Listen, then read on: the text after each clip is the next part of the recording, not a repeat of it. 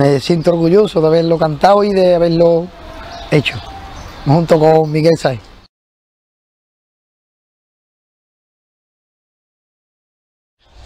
Montoya y yo hacemos dos géneros diferentes, sí, él, bueno, él hace flamenco, pues él es un flamenco hondo, realmente, y yo hago, bueno, yo no sé ni qué género hago, ¿no? Hay veces que hago un género, otras veces hago otro.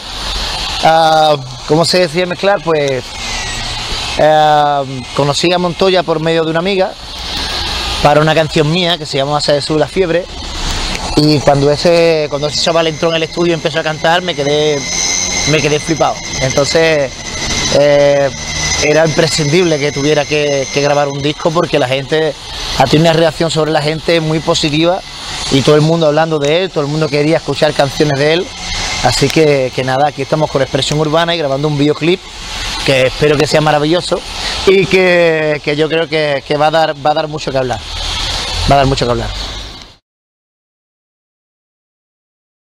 Pues la verdad porque se le sube la fiebre, no fue muy bien, tuvimos muy buena audiencia y quise seguir con él.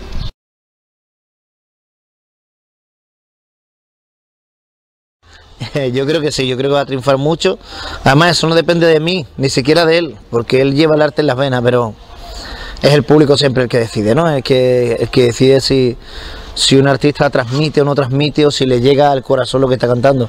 Yo creo, a mí me llega, o sea, me llega, yo también soy público. Así que yo espero que, sea así. Y le veo, sí, claro que le veo. Le veo mucho futuro. No sé si en este momento aquí, con esta canción, no sé si mañana con otra, no sé si dentro de un año con otro estilo, pero él va a triunfar seguro en la música.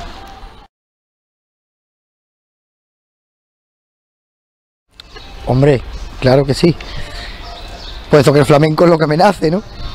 Pero claro, también le cogí el gustillo a reggaetón y a la fusión y, ahí estamos.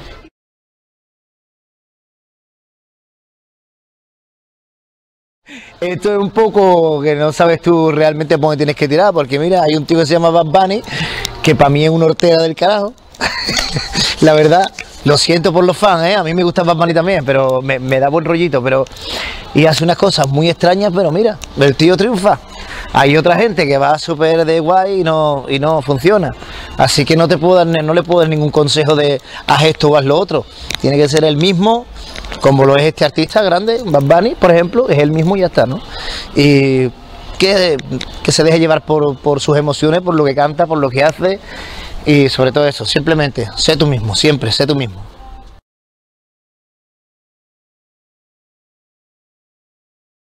Es una historia triste de amor. Así ya la letra lo dice, ¿de qué me sirve la vida si no la vivo contigo? Esta, mira, esta letrita se la dediqué a mis niñas, ¿vale? Y espero que os guste. Y mira si le sienta bien su pelillo alborotado, su caracol es negro y su ojillos rao, su cara dos diamantes que diamantes más preciados, que dos rosas más bonitas las que Dios a mí me ha dado, son mi Amalia y mi Sara y las que mi corazón se han llevado. Muchas gracias.